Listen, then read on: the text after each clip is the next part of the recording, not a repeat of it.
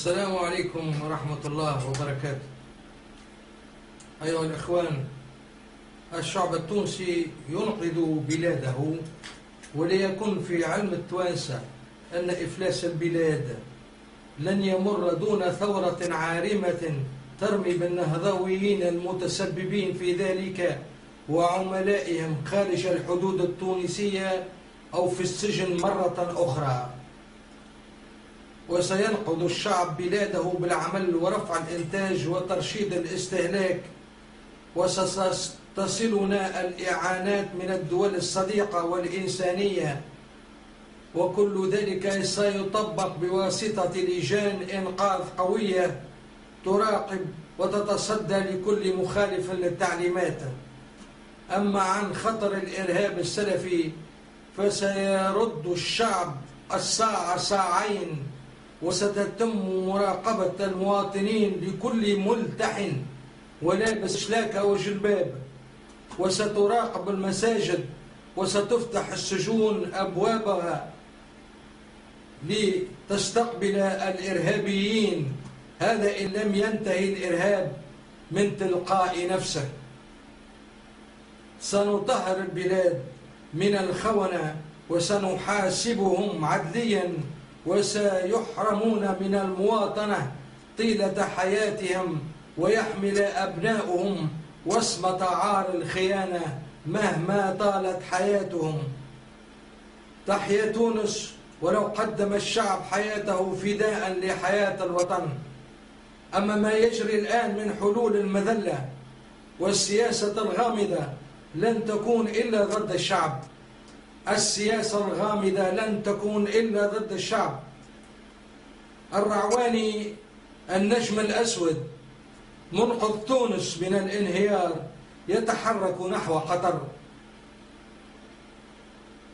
زيارة الرئيس الرعواني التونسي إلى دولة قطر في الأيام الفارطة كان هدفها الارتماء بين أحضان أمير أمير قطر.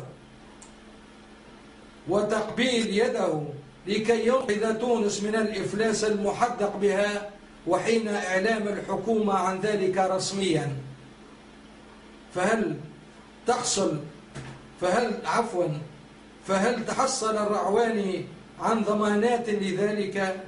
ولكن لن يكون ذلك إلا ببيع نصف البلاد إلى القطريين وعندها يدعي المرزوقي أنه أنقذ البلاد من الانهيار. وفي هذه الظروف إخواني في هذه الظروف نرى الحكومة الجمنفوطيشت التي لا يهمها شيء من الشعب. نرى الوزارات في هذه الحكومة تعليل عريض ما أخذت حتى إجراء للتصدي لهذا الانهيار المحدق بالبلاد.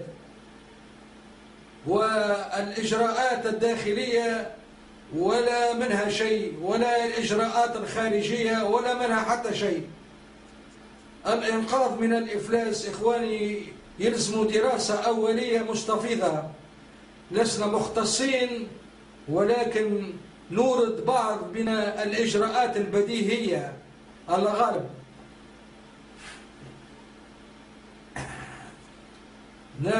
نذكر منها نذكر منها رفع الإنتاج ولذا لهذا يلزم المناخ الملائم لذلك ولا بد من رؤساء المؤسسات هما اللي كونوا هذا المناخ حتى يرتفع الإنتاج في المؤسسات. ثانيا إعادة أجور الحكومة والرئيس إلى ما كانت عليه وقت بن علي. يعني الرئيس عشر ملايين والوزير جزء ملايين ونص. ومراجعة الميزانيات لا بد من مراجعة الميزانيات. يعني يجب أيضا حذف ميزانية المجلس الفاشل حذف ميزانية المجلس التأسيسي. ثالثا رابعا ترشيد الاستهلاك بواسطة وسائل الإعلام. خامسا لابد أن نأخذ كما عملوا في الجزائر معناها في هذه السنين عملوا الاستيراد ممنوع لمدة خمس سنوات. ما يلزمناش نستوردوا حد شيء لمدة خمس سنوات. نستعملوا إلا الوسائل الخاصة نتاعنا. بالعكس نحاولوا باش نخرجوا السلعة نبيعوها لبرا أما ما نستوردوا حد شيء. وتشوفوا إخواني في الفضاءات التجارية تو كيما كارفور وبروموغرو وغيره فهمتي ولا؟ تراوا أن البضاعة الموردة هي كثيرة وكثيرة جدا.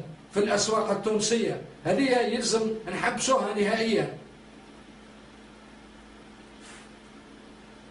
نلقاو حتى المقرونة جايبينها من طالع يبيعوا فيها في تونس. إجراءات أخرى سادسا التنقيص من الواردات الصينية. هذا أيضا فيه انخرام للتجارة الداخلية.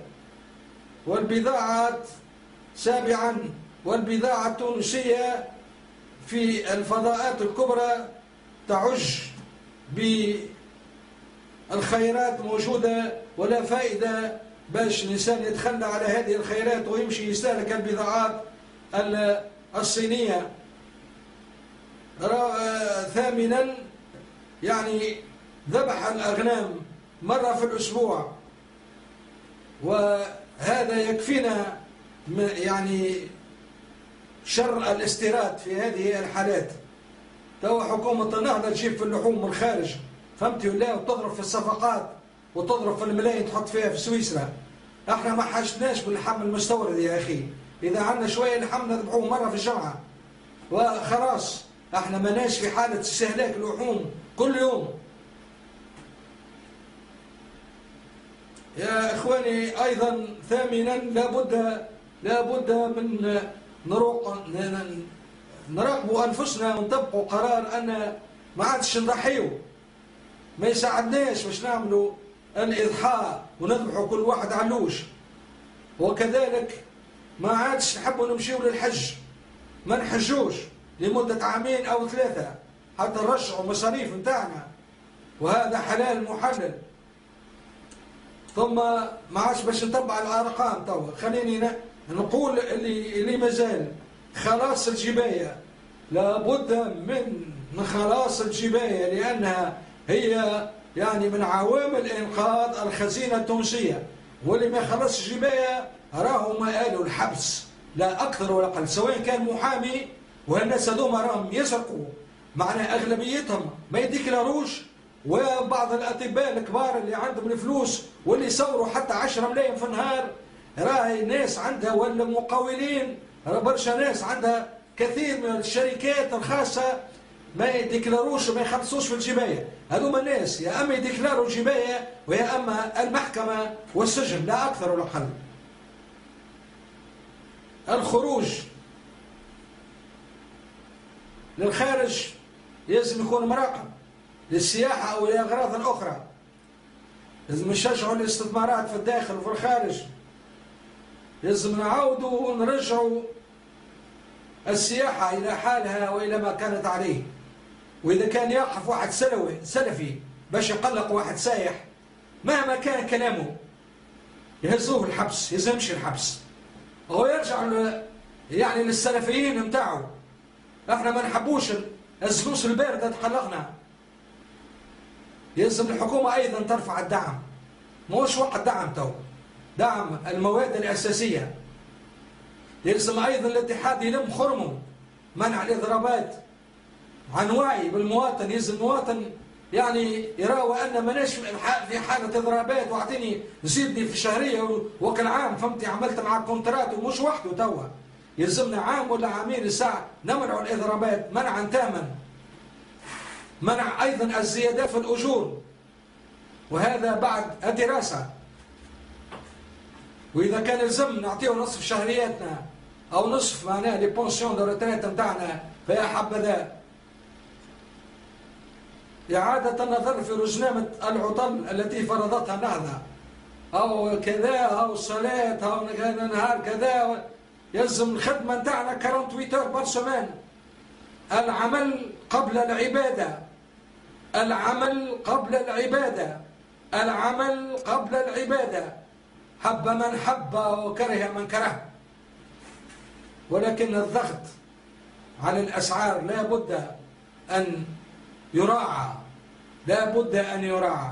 الإجراءات الخارجية هذا موضوع آخر. بارك الله فيكم. بارك الله فيكم.